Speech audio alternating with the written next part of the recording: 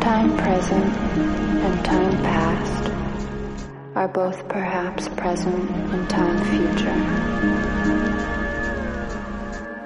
And time future contained in time past.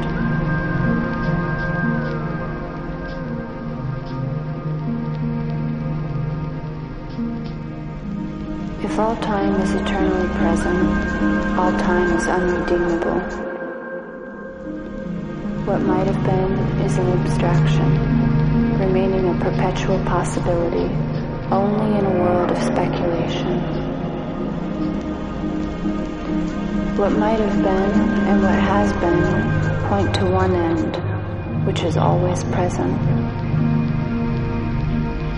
Footfalls echo in the memory down the passage which we did not take, towards the door we never opened, into the rose garden.